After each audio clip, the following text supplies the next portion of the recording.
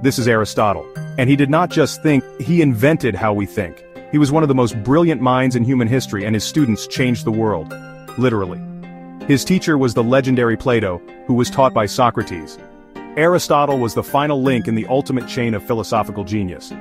And who was Aristotle's most famous student? A young kid named Alexander the Great.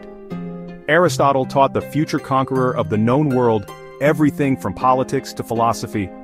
But he was not just a teacher, he was a pioneer. He basically founded entire fields of science, logic, physics, political science, anatomy, biology, the list goes on. He was obsessed with the natural world. He personally studied and described 560 different animal species, kickstarting the entire field of biology. He asked the big questions, how should a city be run? What makes a person good? What is the soul? His works on politics and psychology are still studied today.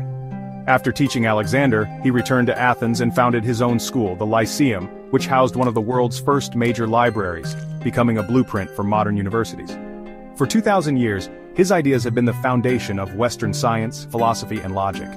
He truly taught us all how to see the world.